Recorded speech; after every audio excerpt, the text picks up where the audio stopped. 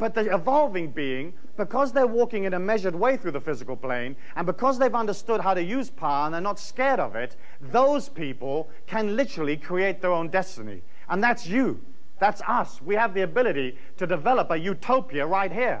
The golden age isn't something that's going to sort of flutter down from the sky someday. It's basically a whole bunch of people getting up and saying, I claim my right to this golden age.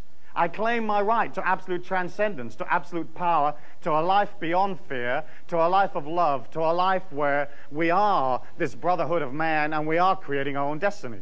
And when enough people get to that conclusion, then the planet will change.